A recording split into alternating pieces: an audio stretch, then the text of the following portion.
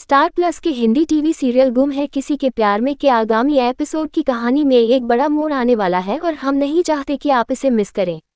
हालिया कहानी के अनुसार, हम देखते हैं कि कैसे ईशान और सावी अपनी शादी में कठिन समय से गुजर रहे हैं और चीज़ें मुश्किल होती जा रही हैं। ट्रैक में आगे बढ़ते हुए, आप अक्का साहब को महालक्ष्मी पूजा की घोषणा करते हुए देखेंगे। अक्का साहेब चाहते हैं कि ईशान और सावी एक जोड़े के रूप में एक साथ पूजा करें, लेकिन दोनों ने ऐसा करने से इनकार कर दिया। और यहाँ इस पूजा के पीछे की असली रणनीति सिर्फ़ ईशान को सावी के खिलाफ भड़काना है। ईशान और सवी की नई दुविधा।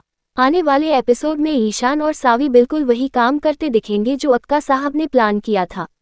तो आपको क्या लगता है आगे क्या होगा ये आगे देखने लायक है क्योंकि आखिरकार सावी ईशान को पूजा के लिए मना लेगी और फिर अक्का साहब इस पर क्या प्रतिक्रिया देंगे ये देखना दिलचस्प होगा।